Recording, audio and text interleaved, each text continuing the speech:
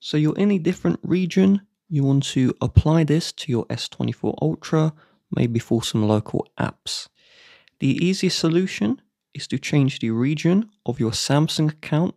This will change your Samsung store region and uh, your home screen, etc., will be for that region.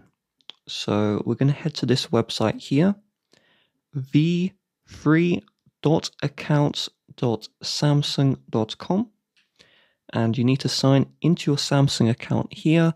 You can't do this from your phone settings. Once you've signed in, I want you to select profile and I'm just blowing out my personal information.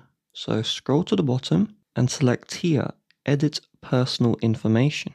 Scroll to the bottom again and under language or region, we see here United Kingdom. So if I tap this one, you would just set this to a different country and you tap the save button. After the changes are applied, you're going to restart your S24 Ultra and all of the Samsung services will be switched to your new region. For your Google account, it's a five minute process.